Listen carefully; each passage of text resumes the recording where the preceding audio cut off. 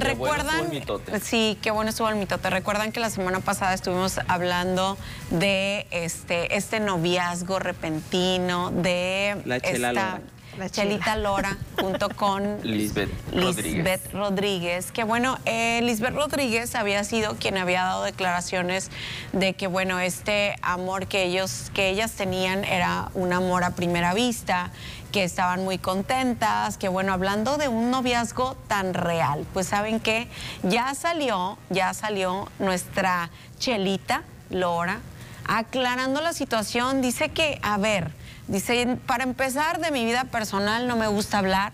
He andado con muchísimas personas y no se han enterado, no han sabido absolutamente nada. Pero en este momento ya me cansé de que esto llegó tan lejos. Yo nada más veía a Lisbeth que decía que ella y yo andábamos y andábamos y esto no es real. Yo no tengo una relación amorosa con ella. En alguna ocasión dice que le tocó tomarse fotografías con ella para una página y para diferentes eh, cosas, pero que fue la única manera. La considero mi amiga, dice, la quiero mucho, pero de que tengamos una relación, en lo absoluto no tenemos. Oye, pero yo vi, yo vi en redes sociales en la historia de, Lisbeth, donde ella subía aquí con mi suegro y que no sé qué, viniendo al evento de mi suegro. O sea, me tocó ver mucho de eso. Pero pues ella solita Miren, Lisbeth Rodríguez, si algo tiene, Lisbeth Rodríguez, si algo tiene, es que es la es muy inteligente para eso del marketing. Recordemos desde Badabun.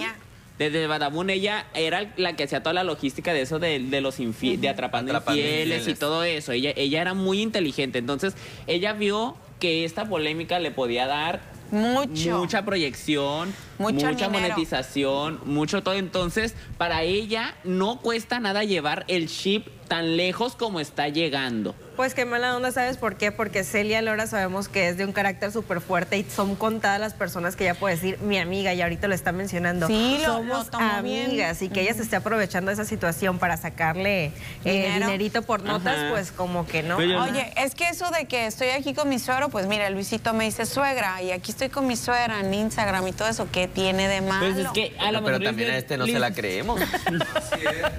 no se quiere ni el mismo que la va a andar queriendo la gente.